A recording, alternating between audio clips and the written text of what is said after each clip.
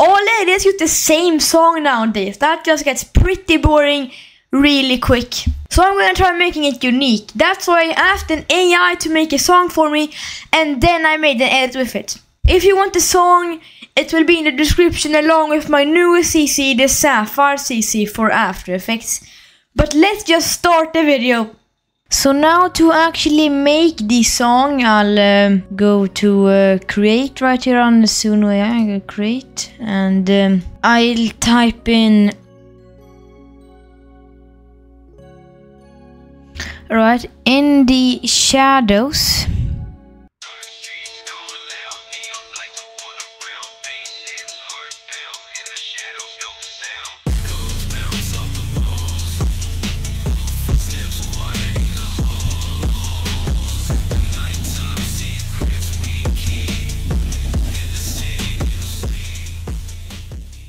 So I'll use in the shadows for this edit that was made by an AI and I'll try finding a good idea. I'm thinking of a spam effect style.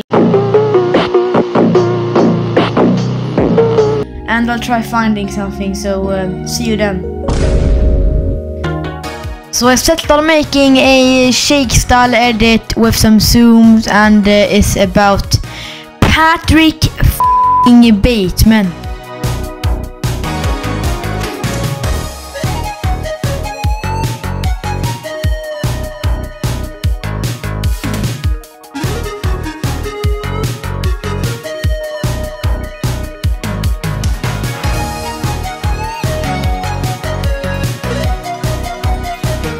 Now I start syncing all the clips to the beat.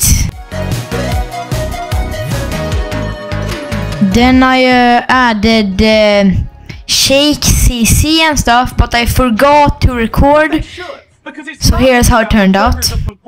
and the importance of trends. It's also a personal statement about the band itself. Hey, Paul! Ah!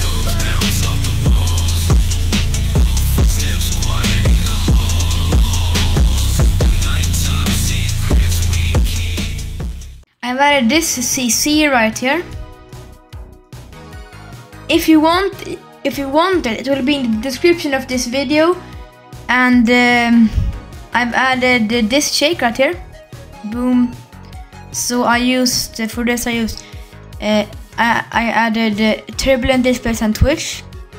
And I added a zoom in and some Twixtor for it. And I will now export this and then uh, put on some text for it.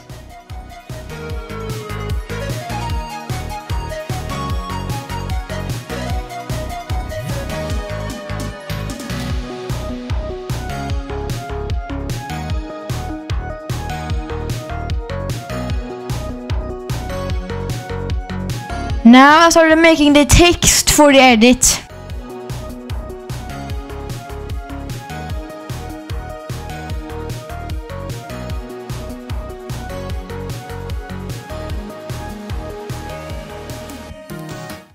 And then here is the finished result. But they should, because it's not just about the pleasures of conformity and the importance of trends. It's also a personal statement about the band itself. Hey, Paul!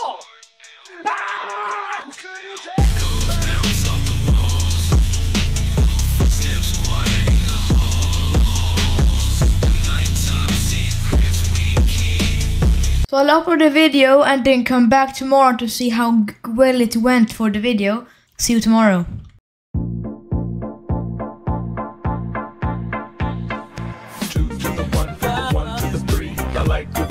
Now I'm on my TikTok and for the edit it went pretty badly.